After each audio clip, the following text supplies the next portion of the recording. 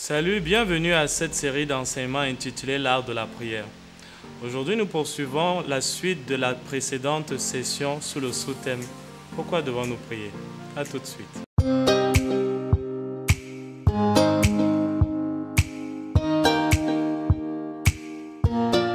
Comme je le disais précédemment, aujourd'hui nous parlons des raisons pour lesquelles nous devons prier. Dans la saison précédente, nous avons développé sur la nécessité de prier. Pourquoi? Parce que l'action de Dieu sur la terre est limitée par non seulement la volonté de l'homme, l'association de l'homme vis-à-vis de Dieu et la collaboration de l'homme avec Dieu. Nous avons vu deux passages et notamment je vais, je vais associer à, tous les passages que nous avons vus un nouveau passage, notamment le, le chapitre 8 du livre des psaumes, où le psalmiste David déclare ceci. Je vais le lire pour nous. Il va dire, Quand je contemple les cieux, ouvrage de tes mains, la lune et les étoiles que tu as créées, Qu'est-ce l'homme pour que tu te souviennes de lui et le Fils de l'homme pour que tu prennes garde à lui Tu l'as fait de peu inférieur à Dieu, tu l'as couronné de gloire et de magnificence, tu lui as donné la domination sur l'œuvre de tes mains. Le mot qui nous intéresse là-dedans, c'est le mot domination. Le mot domination veut tout simplement dire avoir pour domaine les nations. En d'autres termes, Dieu a donné à l'homme l'autorité pour régner et réguler son autorité sur les nations de la terre. Voilà pourquoi Dieu ne peut pas agir sur la planète Terre sans que l'homme ne l'ait approuvé et sans que l'homme ne se soit associé à la volonté de Dieu.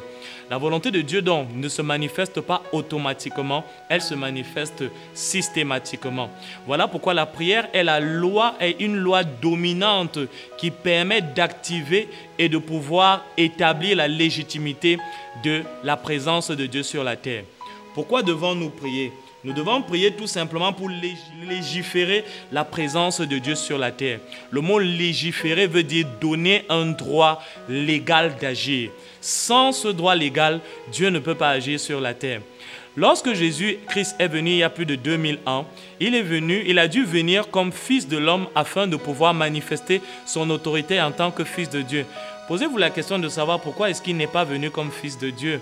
Pourquoi il a fallu qu'il naisse d'un homme? Pourquoi? Parce qu'il comprenait et savait très bien que pour avoir l'autorité sur la terre, il fallait qu'il devienne un homme. La deuxième chose, c'est que nous devons prier pour légiférer l'autorité de Dieu sur la terre. J'ai dit la première, chose, nous devons légiférer, nous prions pour légiférer la présence de Dieu.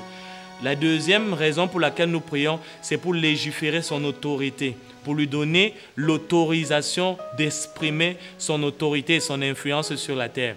Voilà pourquoi Jésus a dit, lorsque vous priez, dites que ton règne vienne. En d'autres termes, que ton influence, que ta domination ou ton pouvoir viennent prévaloir et interférer sur les événements humains. La troisième raison pour laquelle nous prions est que nous prions pour légiférer la puissance de Dieu sur la terre. La puissance est totalement différente du pouvoir. Mais nous avons le pouvoir et Dieu a la puissance. Et lorsque nous, nous exerçons le, le, droit de la prière, nous donnons une permission légale à Dieu de pouvoir manifester sa puissance sur la terre. La quatrième raison pour laquelle nous prions, c'est pour légiférer l'action de Dieu sur la terre. Et la cinquième raison pour laquelle nous prions, c'est pour collaborer avec la volonté de Dieu afin que cette volonté puisse s'établir sur la terre comme elle est déjà accomplie sur le ciel. En d'autres termes, nous comprenons que la prière n'est pas un instrument pour demander à Dieu, pour forcer la main à Dieu pour qu'il puisse agir sur la terre. Mais la prière, c'est tout simplement un instrument qui permet de collaborer avec l'action de Dieu sur la terre, qui permet d'autoriser sa présence à se manifester sur la terre, qui permet à son pouvoir et à sa puissance de prévaloir sur la terre. Alors, chaque fois que Dieu n'arrive pas à agir sur la terre, c'est toujours parce qu'il n'a pas pu trouver un collaborateur ou un vase à travers lequel il se déplace. Dieu se déplacera toujours à travers les hommes. Dieu ne fera jamais rien sur la terre sans que l'homme ne se soit, ne se soit associé avec lui par la foi, par la prière et par l'obéissance pour que Dieu puisse se manifester. Ces trois éléments sont indispensables. La foi, la prière et l'obéissance afin que son règne vienne sur la terre et que sa volonté soit faite comme elle est faite au ciel. Dans la prochaine session, nous allons développer sur les, différents types de prières. La plupart du temps, les personnes n'utilisent que la prière qui est dite de pétition.